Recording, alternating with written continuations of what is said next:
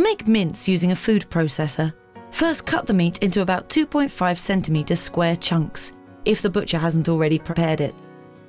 Put roughly a handful of meat into the food processor and pulse for a few seconds at a time until the meat is just starting to form a ball in the sides of the bowl. Remove and leave aside. And repeat with the remaining meat. To make mince using knives, first trim any fat and sinew if necessary, and cut the meat into thin strips, using a meat cleaver or large sharp knife. Once all the meat is sliced, take a second meat cleaver or sharp knife in the other hand and chop using both. Use a strong hammer action and keep bunching the meat together and turning it regularly until the meat resembles coarse mince.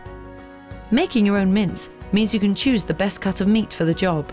Leaner cuts like rump make excellent mince for beef burgers. For a ragu or chili where you'll be slow cooking the meat, go for a cheaper, tougher cut like beef chuck.